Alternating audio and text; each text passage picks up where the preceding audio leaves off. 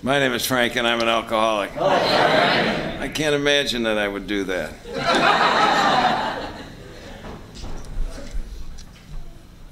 and you said it exactly right. This is about surrender and willingness. And more miracles happen in these rooms than any hospital or cathedral in the world. And if I went into your church, I would not wear my hat because I would honor the fact that it is your church. And if I went to the White House, I would not sit with the president with my hat on. More miracles happen in these rooms than in the White House and in any cathedral, any hospital in the world. And sooner or later, from the very beginning, if we just practice some surrender, because alcohol, because recovery is a continuous series of surrenders.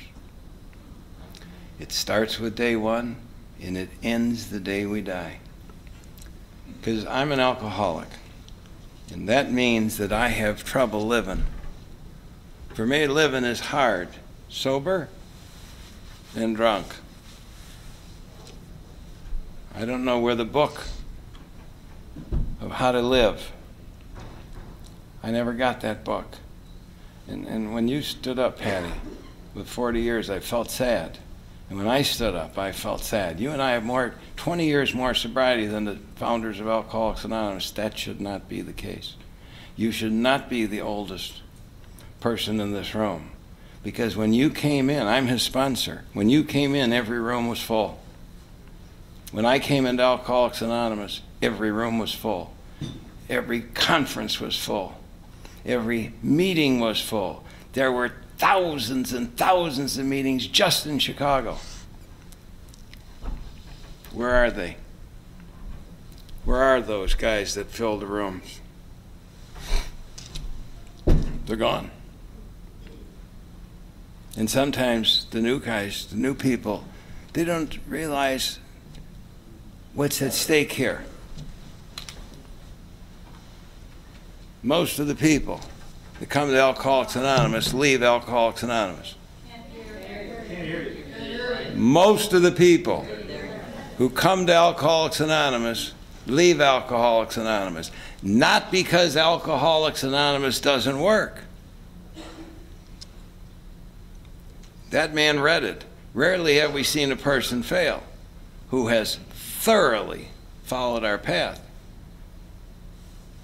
But most of us won't do it because our case is different. Most of us will read, remember, and discuss the steps of Alcoholics Anonymous, but we won't take them. On November 3rd, 1971, I was the newest person in Alcoholics Anonymous. I had 10 hours. And when I walked in that first meeting of Alcoholics Anonymous, they gave me a book that said there's over a million people in Alcoholics Anonymous. So I was no dummy. I thought to myself, there's a million people with more time than I have.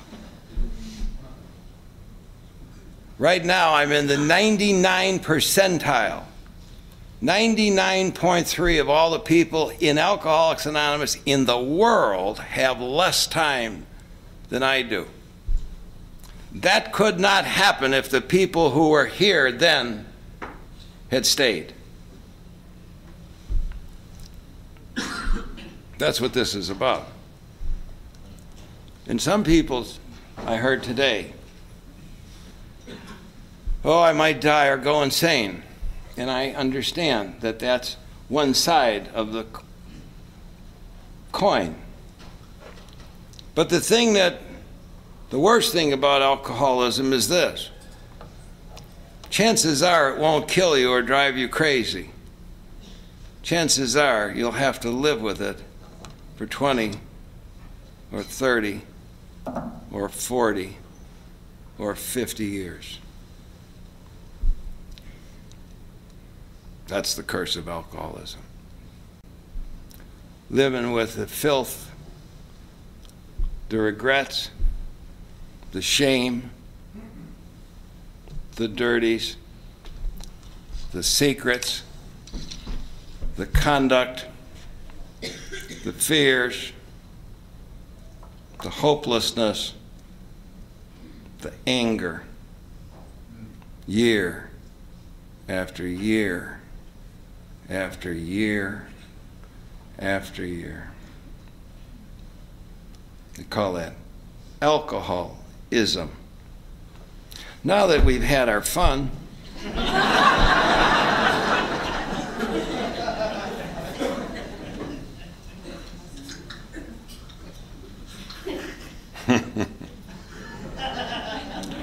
They're selling tapes in the back. There's a fella. Can't hear you. They're, they're selling tapes here. There's a fellow who just died, who was a warrior of Alcoholics Anonymous, and some of you have never heard of him. The name was Don Pritz. If you've never bought a tape at an A conference, ask for Don Pritz's tape. He just died. There's a word in the English language, it's called gentleman. He was a gentle man and a warrior in Alcoholics Anonymous. So, whatever little I say tonight is going to be in remembrance, in memory of Don Pritz. I'm glad to be here. I'm glad to be at any meeting of Alcoholics Anonymous. I shouldn't be here. No one would have bet a nickel on November 3rd, 1971, that I would be here today. At my second meeting of Alcoholics Anonymous, which occurred on November 4th, 1971, the person who brought me to the meeting was asked by the people who were at the meeting never to bring me back. That's true. I don't know what I said. But they did not want to hear it again. As far as I know, I'm the only newcomer that ever caused a group to have a group conscience meeting right there on the spot.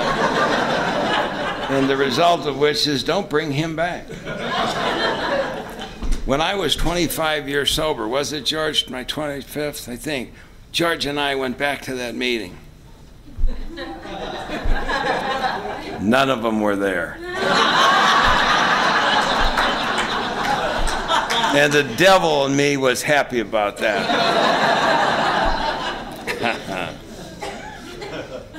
Over the course of years, I have uh, I've had the good fortune of speaking with all the legends of Alcoholics Anonymous, and there's a lady that I used to be on programs with, and she used to say, "I love everyone in Alcoholics Anonymous, and I love everyone in Al-Anon," and I would just go crazy every time she said that because I don't love everybody in Alcoholics Anonymous. I don't even like everybody in Alcoholics Anonymous. And there's about 60 people from my home group, and I'm going to tell them something that's going to shock them. There are people who don't like me. I know you can't picture that, but what binds us together is not that we love each other or like each other. What binds us together is that we need each other. We need each other because our strength comes from our sharing of our weaknesses in all the colors of the rainbow. And too often in Alcoholics Anonymous, you find groups that are bound together by the dislike of other groups. That is not Alcoholics Anonymous. I don't know what it is, but it's not love. or caring or sharing. I've only missed one talk that I've ever taken out of the hundreds and hundreds of A's talks I've given, and I was I was fogged in at Midway Airport 30 years ago. And I had a call, and I hadn't taken the brochure with me, so I didn't know the name of the contact in the city that I was going to talk going to talk at and I just show up and they meet me at the airport. And you know how that is. You, just, you don't know where you're going. So I didn't know who to call. So I called AA in that city. And I said, I'm Frank Milos, and I'm supposed to give an A talk at a banquet right next door to your city. And the guy said, Where? And I told him. And he said, and I said, all I'm going to ask you to do is, could you have somebody go over there and just tell them I can't come? I'm fogged in. I just won't be there. And I'm supposed to talk in five hours. And he said, we don't talk to those people. now, you, now, I understand that it sounds funny. But when your life is at stake, and the unity that's necessary to make this thing stay healthy and well, there is no laughter in the death of people because we think we have the luxury of disliking each other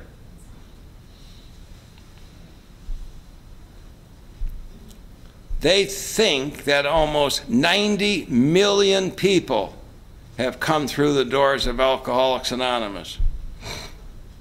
There are 2 million left. We used to grow at 20% a year. That's in the foreword of the first edition. Now we grow less than the population growth. AA doesn't work, it has nothing to do with AA not working. See, I'm a believer in uh, when I drank, I didn't want anybody to water down my drinks. And there's only re- one reason I don't want you to water down my drinks, because it doesn't work if you dilute my drink. AA does not work when we dilute that. and we'll be 70 years old, Alcoholics Anonymous in Toronto. And the sad thing about it is when, when we were in Montreal, I sat on the second balcony of the Olympic Stadium because this will be my seventh international conference. And they said, with all the people that were in New Orleans, please stand up. And in New Orleans, we filled the Superdome. And on the second balcony of the Olympic Stadium, I was the only one that stood. There's a sadness about that. And you'd have to be blind not to see the visitors. They come for a day, they come for a week, they come for a month, they come for two months, they come for a year and we don't even know their names, and we don't miss them because they never even left an impression. And then we come to conferences and we give people who have one day. And I love it. And you are the future of Alcoholics Anonymous, and don't think that doesn't frighten me.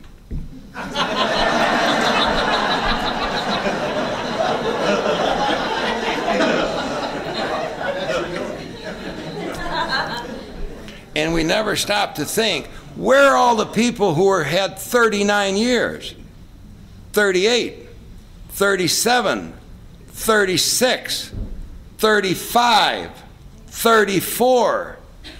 It's almost like we don't even notice. They're all missing. Tens of thousands came those years. And yet, Alcoholics Anonymous works. But there's something about people like me that refuse to do refuse to realize that this is a program of recovery, not a program about drinking. This is a program about change. All you hear all many places drink, drink, drink. Newcomers don't need to hear about drinking. They are the world's authority about drinking. There's nothing about drinking they don't know. What they don't know is how do you live with you and not have to drink to stand it? How come I have to medicate myself to attain normal? That's the question. And very rarely do we address that. When's the last time you said to your newcomers, write down a list of what your moral beliefs are? Because, folks, we're going to ask them soon to take a fearless and searching moral inventory. Never hear about that. You hear about drunk. You hear about drunk and the fun of drunk.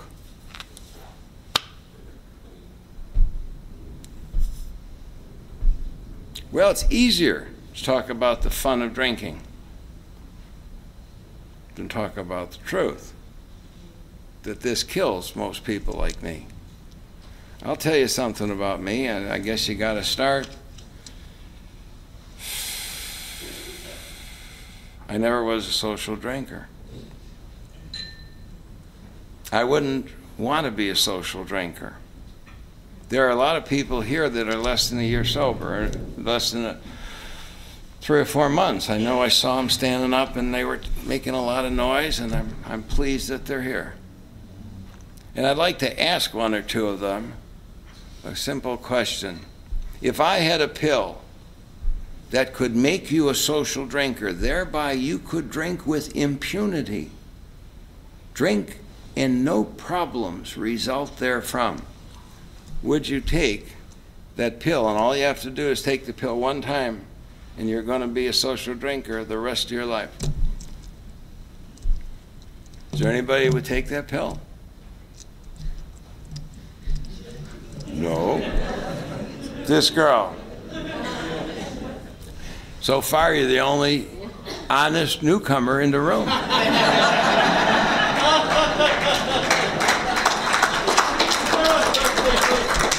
here's the strange part of that you really wouldn't. Because you see, what happens in Alcoholics Anonymous is we use words but we really don't even know the meaning of those words. We can't even make pictures of the reality of those words.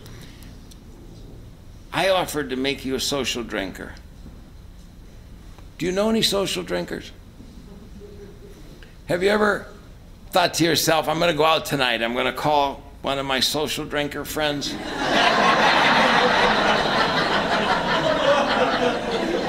oh, I've had a bad day, I'm going to go and get loose tonight. I think, uh, let me see, who do I know that doesn't drink? Did you ever really watch social drinkers drink?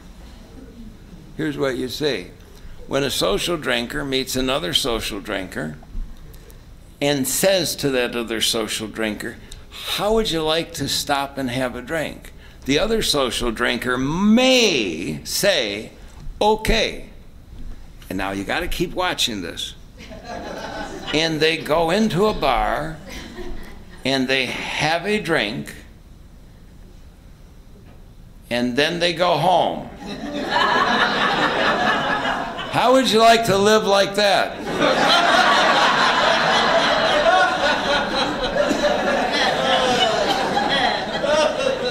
Social drinkers when they sit at a bar, and you'll, you'll see this all over the world.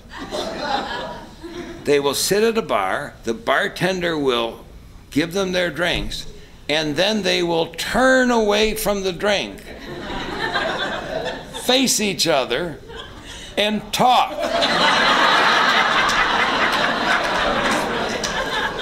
How'd you like to live like that one day at a time?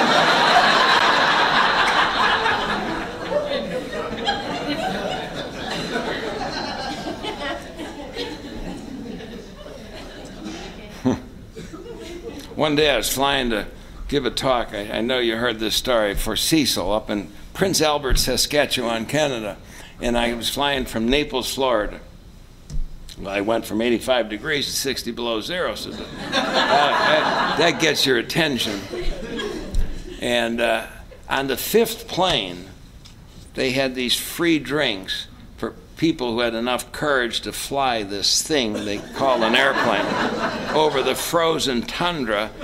And there were two young men to my right, and they ordered, I listened, they ordered Molson Lager. And I was a beer drinker 112 pounds ago. And uh, I watched them pour their drink in a plastic cup like that. And it was beautiful. It was the bottom of the plastic cup became gold. And above the gold was a white cloud. and it just hovered over the gold.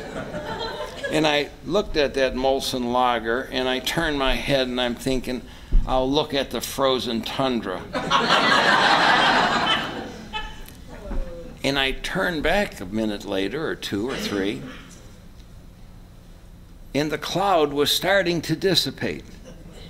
And they hadn't touched the drink. and I turned away and looked out that window again, and I started to talk to myself. I thought, this can't be happening. How would anybody disgrace a drink like that? and I turned back and I looked, and now the white cloud was gone. And I wanted to kill him. How about this?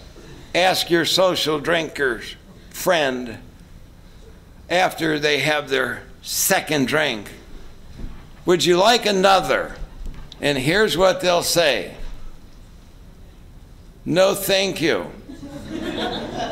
I'm starting to feel it.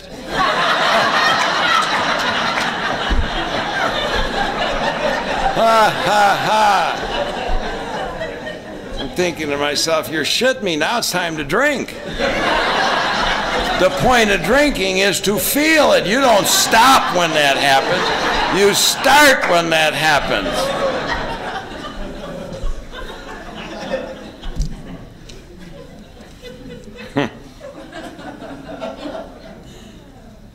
Hmm. Unbelievable. Who wants to be a social drinker?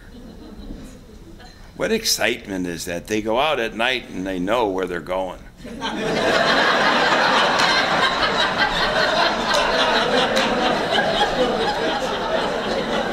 they know who they're going to be with. Ha ha ha. They know when they're coming home and how they're going to get there.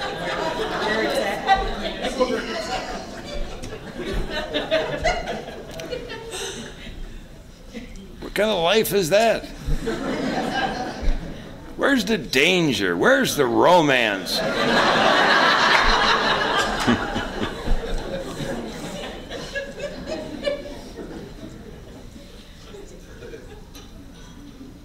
you hear a lot about God in Alcoholics Anonymous, and my first, my first uh, brush with God was uh, in a school with a woman who walked in and she was dressed in black and white, and she said she was going to teach us about sin. And she told us that there were two kinds of sin. There was a venial sin, and that, and it was like a scroll with thousands of things on there. And, and I'm only seven, eight years old, and, and I'm listening to this, and don't listen to your parents. Take things that don't belong to you. Ba, ba, ba, ba, ba. And all these things are sins. And she said, and if you do these things and die, you've offended God, and God is going to take you to a place of punishment. We call it purgatory and you're going to have to burn there for a while. now, I don't know if I'm seven or eight, and I know that I've done some of the things on that list. And I don't know about you, but when you're seven or eight, three or four thousand years seems like a long time. and I'm not all that thrilled about burning.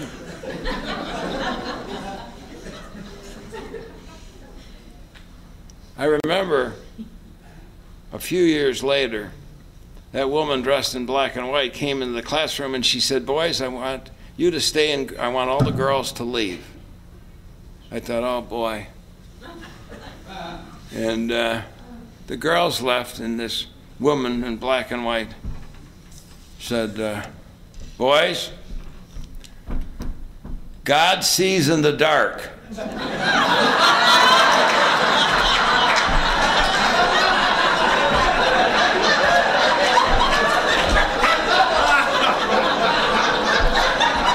I thought to myself, but he can't see under the covers.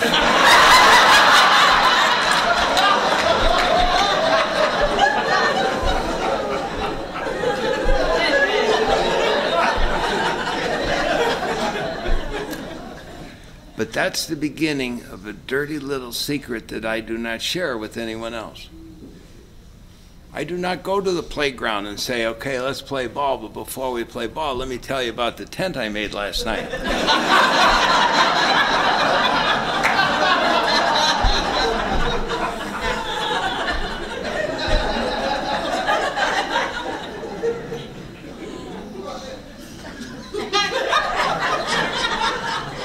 they really believe this is my story. I'm telling them your story.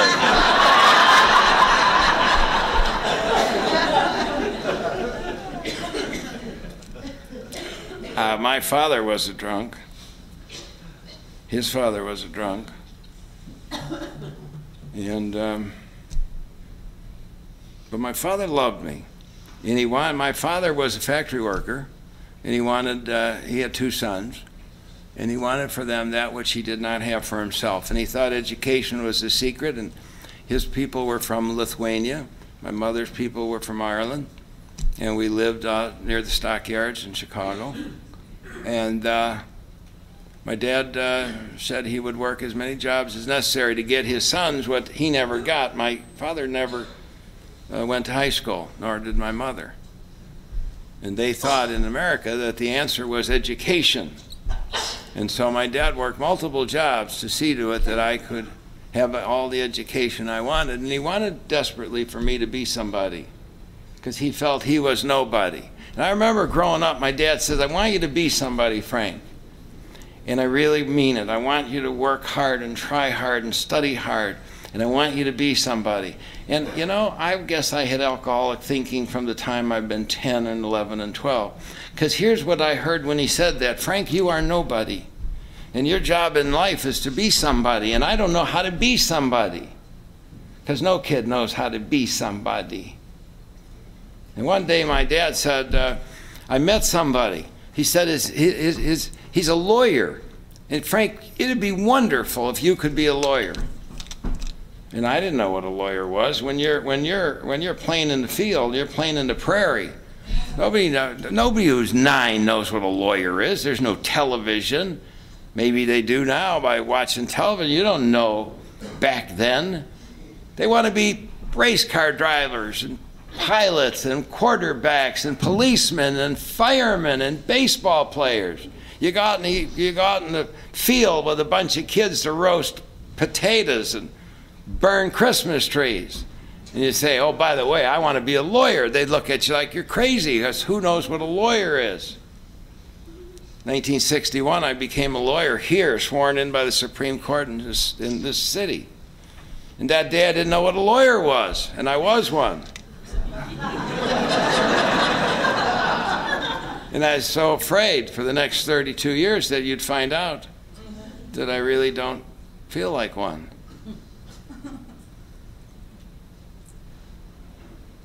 I knew what I wanted to do when I was uh, with the rest of my life when I was about 11. One afternoon when I was 11, the girl next door and I went out in her backyard and in those days, we had um, clotheslines, didn't have dryers. And what they would do is they'd put blankets and sheets and stuff on the clothesline. And that would form a tent. and her and I went into that tent. And I discovered that afternoon what I wanted to do with the rest of my life. I wanted to be a gynecologist.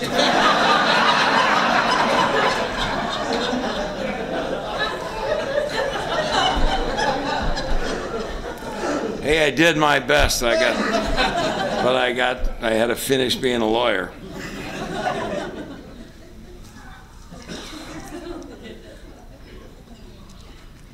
I never wanted to be a guy who needed help from strangers. There's nothing about me that says, it wouldn't it be lovely someday when you're still a young man to have to go into a room full of strangers and ask for help with living. I've never known anybody who signed their yearbook. What do you want to do when you grow up or with the rest of your life? Well, I'd like to join A and A and go to meetings for the rest of my life. How about you, slick? I wanted to grow up to be a man and be happy. Period. To grow up to be a man and be happy. Period. And every newcomer I've ever met in my life has wanted nothing more than that to grow up and be happy. I don't remember ever being happy. I have no recollection of a teenage years where I was happy. People around me would use words that I had no understanding of. Here's a great one comfortable. I've never known comfortable.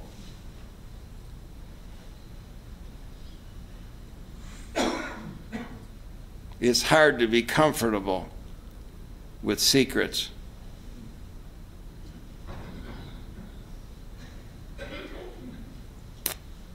How about this one? Enough. Simple little word, enough. I have no idea what enough means. I can't get enough power, praise, money, fame, acceptance, love, sex. That's changing, I'd like to tell you.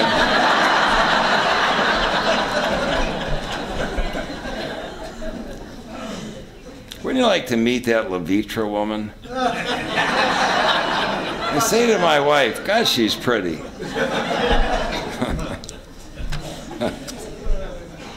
oh, God. Uh,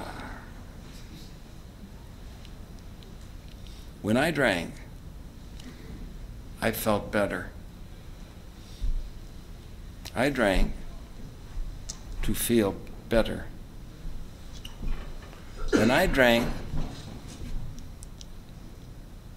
I got comfortable. When I drank, I knew happy. I did not drink to degrade myself, to abuse my wife, to be a degenerate father to shame myself or hurt your daughter or kill your son. In 1982, I walked into a room full of newcomers, which I've conducted newcomers classes all over North America. And I've done this to tens and tens of thousands, 100,000 newcomers. I've asked them to tell me what an alcoholic was. And young lady, I'm just going to use you as an example, but I have to talk to somebody, but you represent everybody here that's new. We hear the term alcoholic in Alcoholics Anonymous, but I don't know that we really know what we're talking about. And if we're if we're not if we both don't see and feel the same thing, and if I say dog and you picture cat, you and I will never ever be able to relate or converse with one another.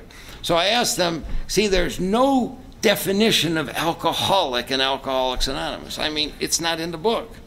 It's in none of the literature. They have stories and descriptions, but there's no definition. Wouldn't it be nice for there to be an official definition of alcoholic? Because we could then see we don't belong and we could leave. see, there's kind of an illusion in Alcoholics Anonymous that the newcomer comes here to convince himself he ought to stay. No, no, no, no. You're here to justify your departure, and I know that. So I asked the people in that group to make an alcoholic for me in the laboratory of our minds. And they thought, dude, this is nuts. This guy's got to be crazy. And I said, what I'm going to do is I'm going to stand before you holding an invisible test tube. And what I'm going to ask you to do is to put in the ingredients that you know are necessary to constitute an alcoholic. And when we're all through making an alcoholic in the laboratories of our mind, looking in this big, heavy, invisible test tube, we'll know what the subject matter is. And I held this big, heavy, invisible test tube, and it seemed like forever. And there was silence. And he said it. Newcomers cannot stand silence because then they start hearing the voices.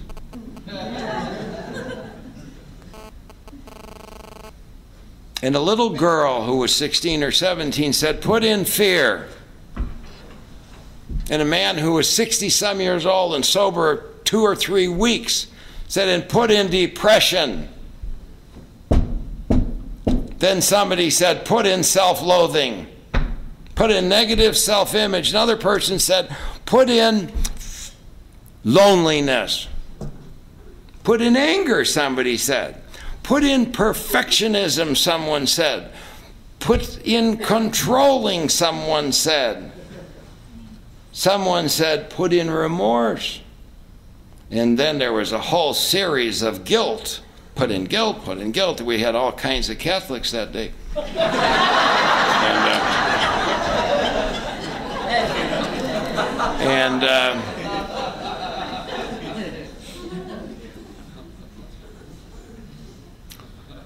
put in inferiority, someone said.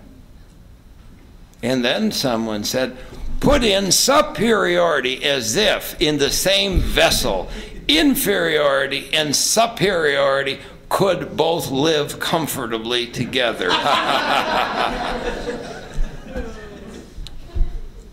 And they went on and on and on and on until the test tube was full. And then I realized that they knew. They never read the book and they knew. Because one thing they never put in. What do you think that was, young lady? They never put in alcohol. You think that's strange? Mm-mm. These people come here knowing that alcohol is but a symptom of the problem. And we talk to them about drinking instead of hope and recovery. So I asked them to put in some alcohol in the test tube, which was me. And here's what we observed in the laboratories of our mind. If you put just enough alcohol in that test tube, what happens is a miracle. Fear starts to go away, anger starts to disappear. Music, romance, hope, dreams, depression is diluted that's why I drink. But for a strange reason known only to God, for some people in the world, if you keep doing that over a period of time, this terrible thing happens. The benefits of alcohol diminish. And after a period of time, and the time is different for everyone.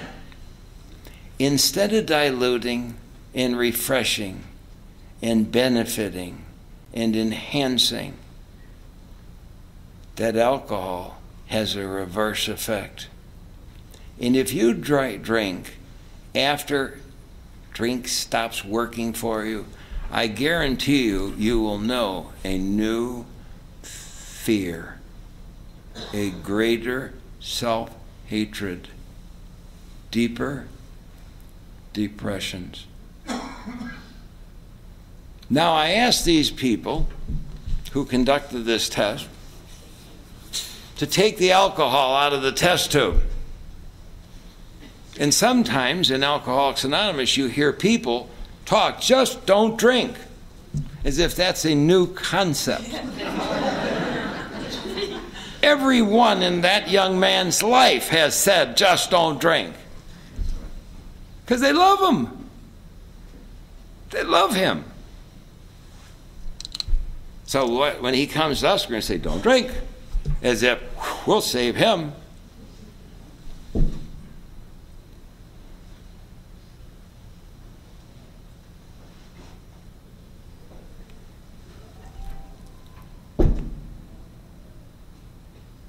Drink as much as you can, as long as you can. And when you don't want to or can't drink anymore, come here. Now, you may have already done that, and today may be the day that you say, I can't live like that anymore. There's nothing in the book Alcoholics Anonymous that says, do not drink. The only reference to drinking in the book Alcoholics Anonymous is, and I quote, if you're not convinced, try some drinking. Drink. Drink a couple of drinks and try to stop drinking. Experiment with drinking. It says that in the book. Drink. This is about recovery. When you're a little boy and you're a little girl,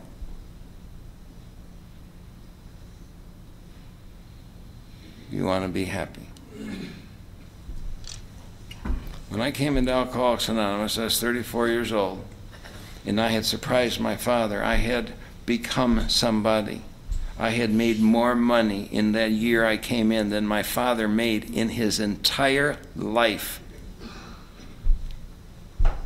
I wasn't happy.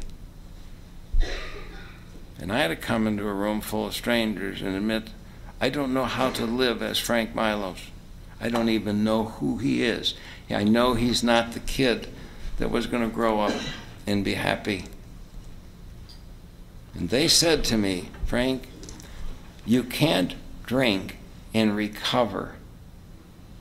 So what you got to do, Frank, is you got to bring no drinking to the pot. It's like playing poker and you ante up, you ante up not drinking. The goal of Alcoholics Anonymous is not to get you to stop drinking. Because if you take alcohol out of your system, you still got all that stuff in the test tube. And you will have to drink or die. Sometimes alcoholics of my type have to drink to live. The goal of Alcoholics Anonymous is to take the stuff out of the alcohol, out of the test tube. Because the actions of Alcoholics Anonymous are designed to work just like alcohol worked when it was wonderful. To the proportion that you take these actions, anger subsides, self loathing disappears, perfectionism leaves. They have things here they call promises, and they occur, they say, all the time. You will know a new freedom and a new happiness. That's what I wanted when I was six, and 16, and 26, and 36. But you have to work for them. And you can get them and drink. You can't drink and recover. Only Al Anons can.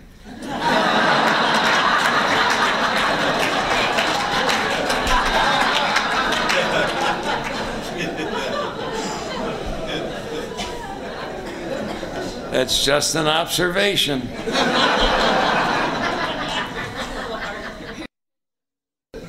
A is about hope for a better life without secrets, without guilt, without living in the past. There's an illusion in Alcoholics Anonymous that the biggest recovery occurs from day one to the first year or some such thing. The most dynamic change occurs in the first week or month or year. You know that's not true. Most often, the greatest recovery occurs between the 5th and 6th, or the 15th and 16th, or the 21st or 22nd year, or the 30th year, or the 40th year. Because what we deal with is an ever changing me who lives in an ever changing world. And I must make continuous surrenders to have that sense of comfort. The, word, the road gets narrower as you are older and more sober. I had great tolerance for my conduct when I was a young man. My wife was married.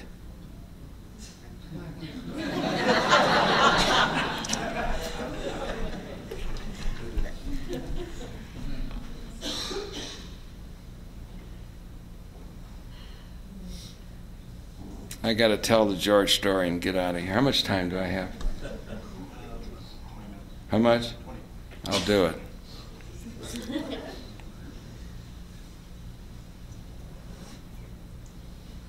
God, I wish I had the power. I wish I had the power to just uh, touch you.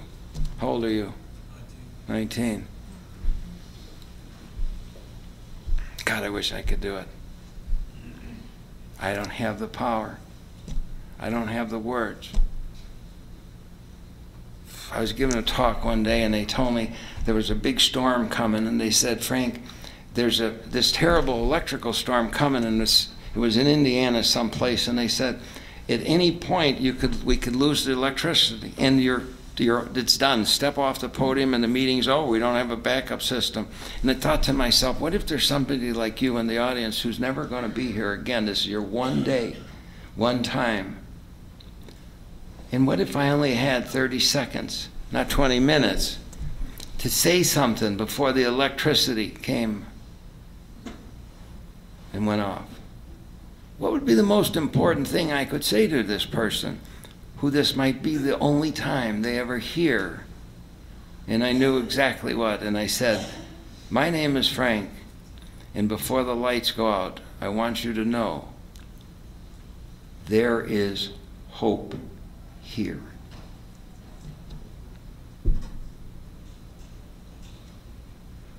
There is hope here.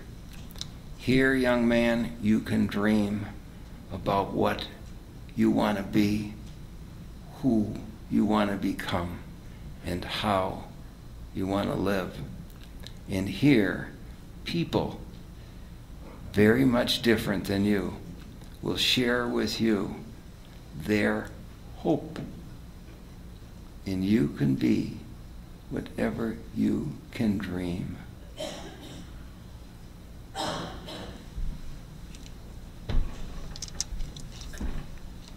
And that's Alcoholics Anonymous.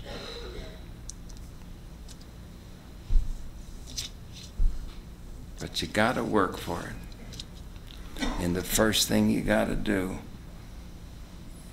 is come to grips with the fact that for some reason known only to God, people like you and people like me need help. But once we get it, we get power. One day, you will say or do something that will literally change the life of another human being, and you will not know that you've done it.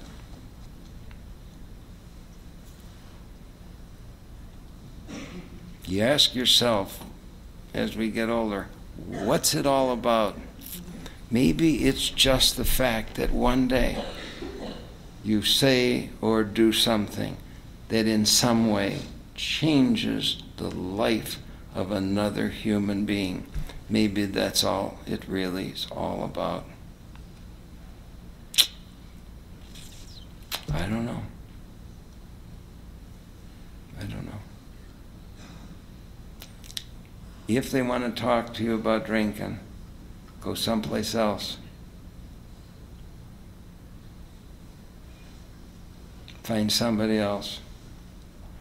Find somebody who wants to talk about hope in love in forgiveness. So you don't have to feel that you're not really one of God's kids. You're just some kind of freak of nature.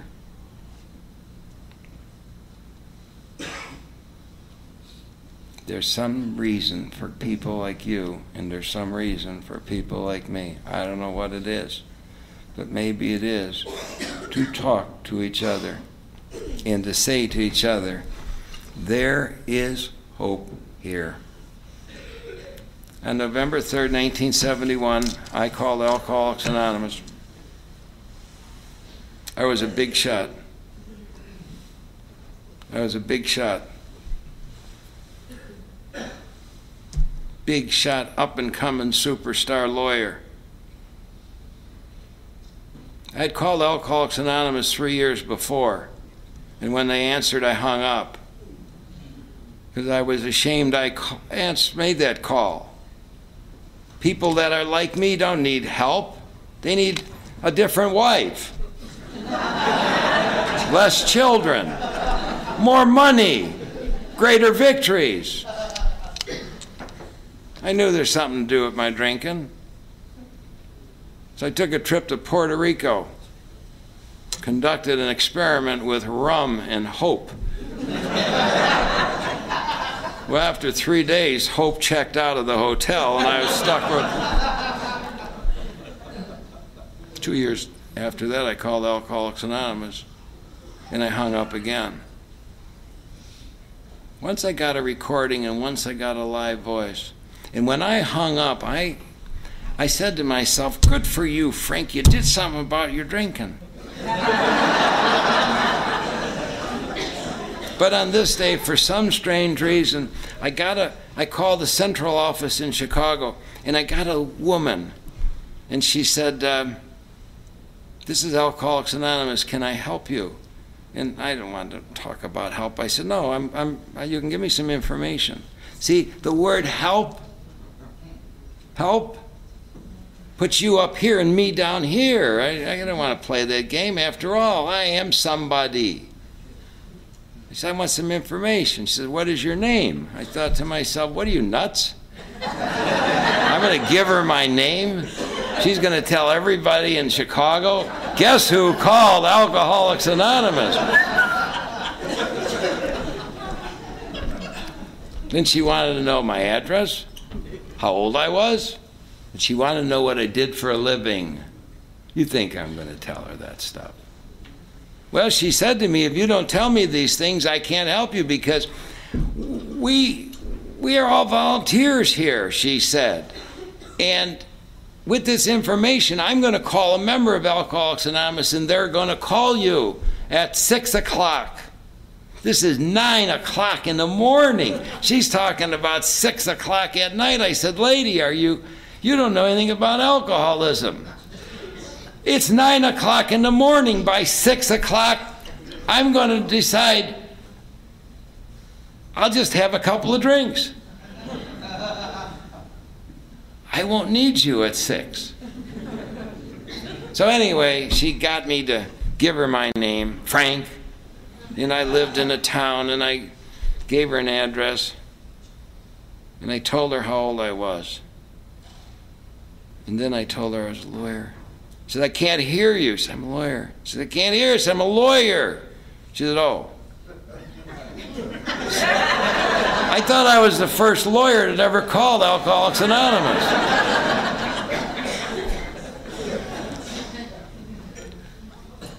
I said, I don't think this is going to work. She says, Listen, there's a place you could go in Chicago and talk to alcoholics. She gave me an address. It was on the near north side. I'm a suburban guy. I live in a big house on top of a hill. You know why I built that house on top of that hill? Because everybody can see that house. It's more important that you're impressed with the house than I'm impressed with the house. Because, see, I do everything for your approval. Somehow, because if you approve of me, somehow maybe that'll transfer and I'll approve of me. So I live my whole life seeking the approval of others, sometimes even strangers. Isn't a sad way to live for a guy who's bright? a sad way to live. So I went to that place. I went like you would go. I had just come back from a trip, I don't know. I had a wonderful suntan. I always have a wonderful suntan.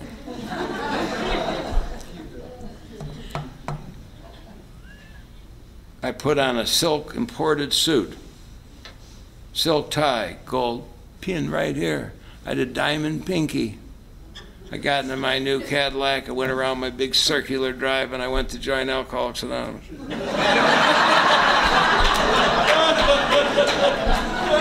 I drive into the city of Chicago. I'm looking at this address. The neighborhood is deteriorating. I'm thinking, what's going on here? It's a storefront building those days, right? I don't know. You you weren't sober then. How do you know? I pulled up right in front of that building. I think, my God, uh, they'll see me come in. They'll see me drive. They'll say, hey, you can't come in here. This is for alcoholics. See, when I go to my country club, they say, Good morning, Mr. Milos. We'll take your car. That's what I expect. That's what I lived with. They didn't say, Good morning, Mr. Milos. We'll take your car when I drove up to that storefront building. When I walked in, a young man with a white shirt and tie said, You need help? I'm thinking to myself, What are you talking about? Do I need help? I think he didn't see my car, he didn't see my suit. He didn't see my diamond ring. He didn't see my suntan. You know what he saw?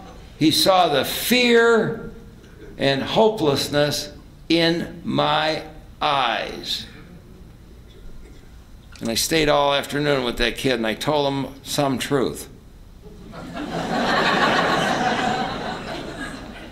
The one thing I told him was I did not want to be an unfaithful father, a husband.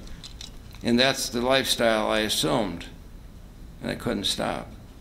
And I didn't want to be a father to three little girls who found their father naked, passed out, and drew a picture for their mother, anatomically correct, at the age of five. And I didn't want to wake up. My wife says, Here's the picture your daughter's painted of you this morning. I don't want to live like that. I'm ashamed of that. I can't live like that. When they were born, each one of them, I promised, in this house there will not be fear or filth or screams or blood. There'll be a consistent pattern of understanding in dialogue. That's not the way it turned out. I will never do, I said to myself, what my father did to my mother. No, I didn't. I did more. And when I married that woman, I loved her. And I promised to be a good and loving and faithful husband. And I didn't know how to do it. But when I just drank just enough, I felt entitled somehow. I left that young man when he asked me to go to a meeting of Alcoholics Anonymous, and uh, I told him I had to go home to have dinner because it was getting to be 5:30, and I lied to him because I I don't go home for dinner. I never go home for dinner now because the kids are still up and I don't want them to see me. You know, and my wife doesn't care if I come home for dinner. The only thing my wife cares about is that I take a shower before I come home so she doesn't have to smell her. I don't want to live like that. I called my wife after I got rid of that kid and I told her I'd gone to Alcoholics Anonymous and she said, We're eating at six, we're having chicken, and she hung up. And I went home at five to six and I saw three little girls who had computer eyes. And the computer eyes of alcoholics, children of my type, do this. What kind of day did daddy have? What kind of day did daddy have? See, they have to do that because they got to discern immediately when you walk in is this safe? Because I'm likely to just grab them and hug them and tell them I love them. They're the most beautiful little girls in the whole world. Or I'm just as, just as if I'm full of fear and I'm hurt and I feel so dirty, I see a shoe live, laying in the middle of the living room and I'll just knock him off the chair. And my kids have to know what kind of day daddy had. This is alcoholism. Ha ha about drinking, ha ha about the jokes. Phone rang at six o'clock. I knew who it was. It was Alcoholics Anonymous. I didn't want that phone to ring. I didn't want Alcoholics Anonymous. And I heard the worst voice I've ever heard in my life. Here's what I heard Frank! my name is George. I got your name from central office. I understand you got a problem with booze. I said, uh, Yeah, George, uh, but I went to an A club. And he said, uh, I'm going to come over and talk to you about it. You're drinking. I thought to myself, come to my house. How could I do that to my wife and kids? I mean, bring an alcoholic into my house?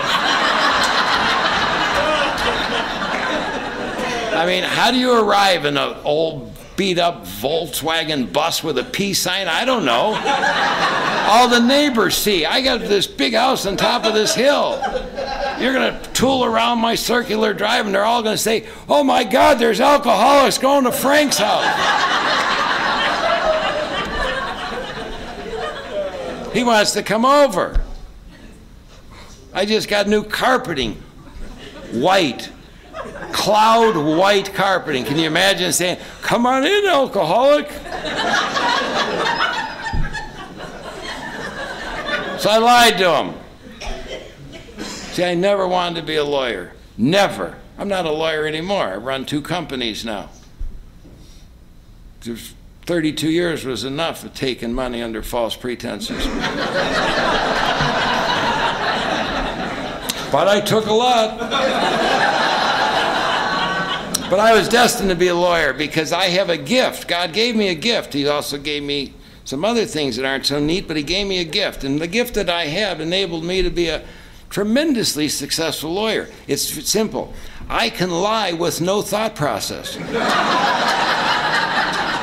you just put pressure on me and I lie. It's like songs to a composer, poems no poet. It just comes. And he says, I want to come over. And I said, You can't because I got to go to a PTA meeting.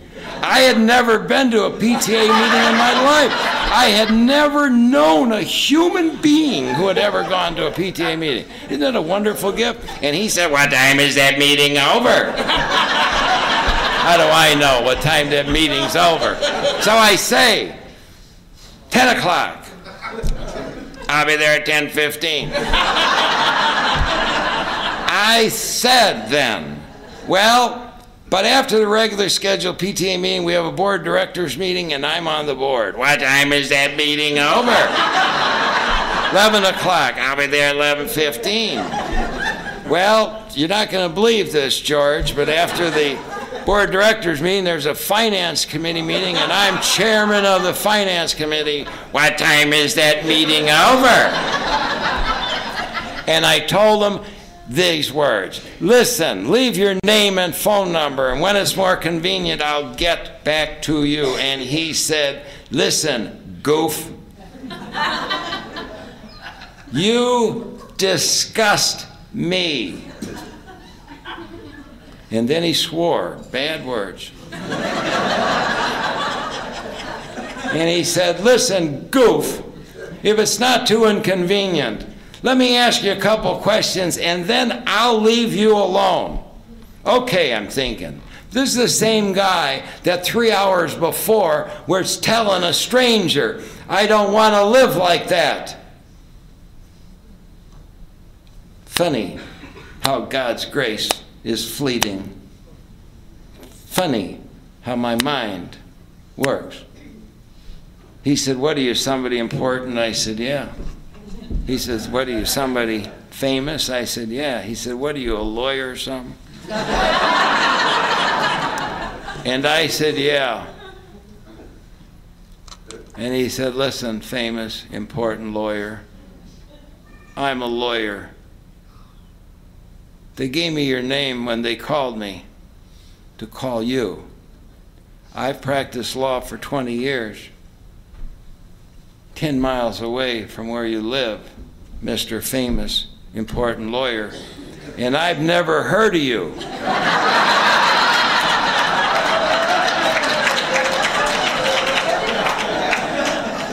and I said, What time are you coming?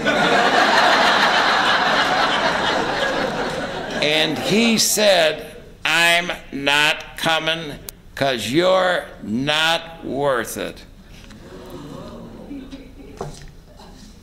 Didn't you, George? Stand up.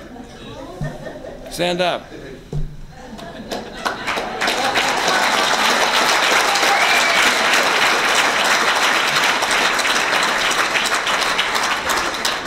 And you hear people, I don't know how to make a 12 step call. Just tell them they aren't worth it. See, I'm a kind of alcoholic that you say, Frank, you can have all this. You can have these promises. You can have a new life. I think to myself, yeah, maybe, but I'm not ready for it. I'm not ready to take those steps. I'm not ready to get those promises. I'll just, I'm not ready yet. I'll think about it. But you tell me, listen, you, you can't have it. I'm the kind of alcoholic that says, you try to stop me. So I said, "Where do you live?" He said, "You want to come to me? You come to you want to talk to me? Come to my house." He said, "I live in Beverly Hills in Chicago." I said, "Well, I'm getting a good branch anyway." I went to his house. He didn't let me in. He made me stay in the, outside the front door. I often wondered. I said to myself, "This is weird." He's a big mansion-like house in Beverly Hills, and he says, "Wait there." About nine, ten, eleven months later, we're in a coffee shop. He says, Remember the day you come to my house? And they got a terrible voice. I sound more like George than he does, doesn't I? I said, Yeah, I often wondered, why didn't you let me in? He said, We just got new carpeting.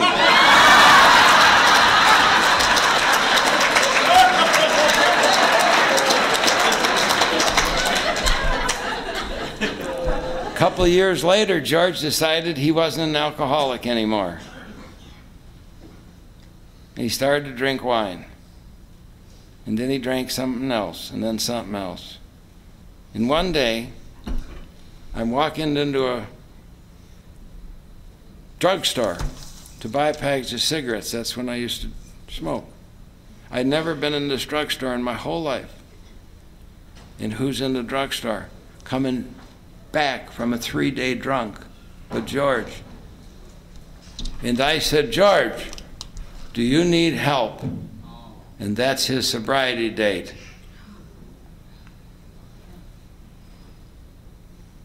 He helped me, and I helped him. How could that be but for the grace of God? Thank you very much.